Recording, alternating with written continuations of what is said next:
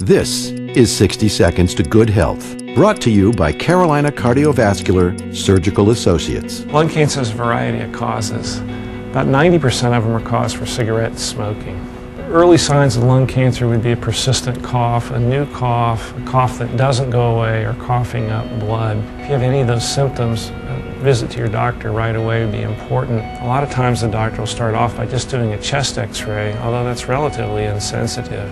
New data suggests that high-resolution CAT scans might be able to detect lung cancers at an earlier stage when they'd be more curable. Early detection for lung cancer is critical in order to achieve a cure. Unfortunately, many people don't come to medical attention until the cancer has gone too far, and surgery provides the best results. And in early lung cancer, they can achieve a cure rate of 80% if it's removed with an operation. Brought to you by WakeMed Physician Practices.